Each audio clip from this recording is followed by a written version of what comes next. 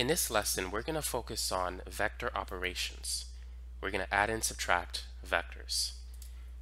So in this problem, we have two vectors, vector v, which is 2i minus 5j, and vector w, which is negative 3i plus 7j.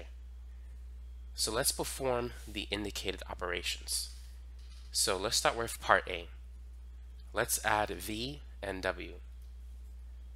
So it's 2i minus 5j plus negative 3i plus 7j. So for this problem, all we need to do is combine like terms. We can add 2i and negative 3i, which is negative 1i or simply negative i. And then negative 5j plus 7j, that's going to be plus 2j. So that's v plus w. It's negative i plus 2j. Now let's move on to part B. So what's v minus w? So this is going to be v 2i minus 5j and then minus w which is negative 3i plus 7j. So 2i well, let's rewrite it first. Let's distribute the negative sign. So this is 2i minus 5j, and then negative times negative 3i, so that becomes positive 3i, and then negative times 7j, that becomes negative 7j. So now let's combine like terms. 2i plus 3i is 5i, and negative 5j plus negative 7j, that's going to be negative 12j. So that's v minus w. So we get 5i minus 12j.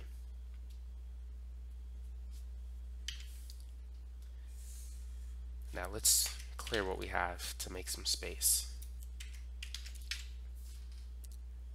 Now let's move on to part C. So we have 2v plus 3w. So not only are we adding vectors, we're also multiplying these vectors by scalar quantities. We're multiplying vector v by the scalar quantity of 2, and we're multiplying vector w by the scalar quantity of 3. So we have 2v, so 2 times 2i minus 5j, and then plus 3w, or 3 times negative 3i plus 7j. So let's begin by distributing. So 2 times 2i is going to be 4i. And then 2 times negative 5j, that's negative 10j. And then we have 3 times negative 3i, that's negative 9i. And then 3 times 7j, that's 21j. So now let's combine like terms. 4i minus 9i is going to be negative 5i. And then negative 10j plus 21j. So that's going to be positive 11j.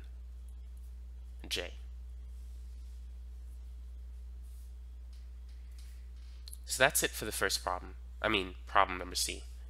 Our final answer is negative 5i plus 11j.